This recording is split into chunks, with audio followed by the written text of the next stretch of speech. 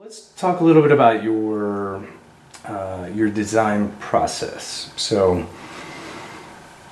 so tell us about um, how you begin a piece. You know, from the very earliest conception mm-hmm. and and and mm-hmm. all the way through the the end. Mm-hmm. Typically, I know different pieces are going to be different, but right, right. Where do you, where do you start? Okay.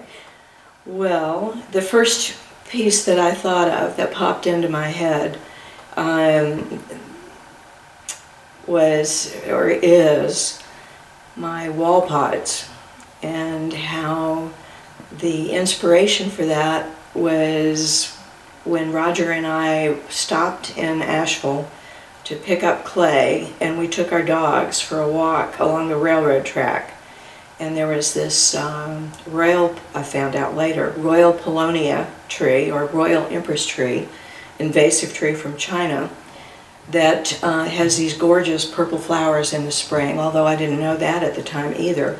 But what was what I saw was the very end result of these pods that were just beautiful. They looked like little hearts that had opened up and they were very black at that point and all the seeds had come out. And so I, you know, I snipped off a couple of branches and kept them in my studio and I kept looking at them and I kept thinking, I love these, I want to do something with them. And so about two years later, I went back to do a workshop at Odyssey. In fact, I think that was the first workshop in clay that I had ever done. And um, I think I probably uh, brought along some of those pods and I was telling my students about them and they wanted to go visit the tree which was just down the street and around the corner. So we went to visit this tree which at that time had pods that were these little beautiful brilliant green fuzzy pods you know I'd never seen them at that stage.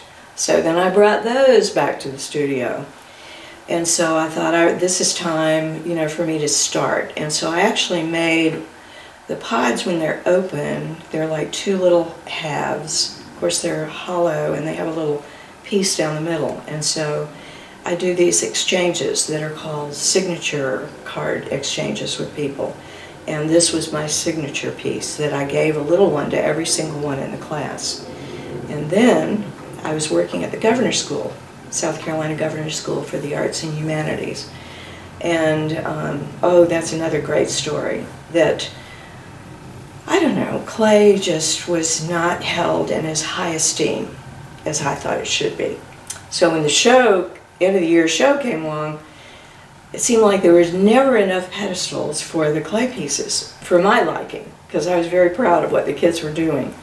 And so the next year, what I decided to do was have everybody do a wall piece.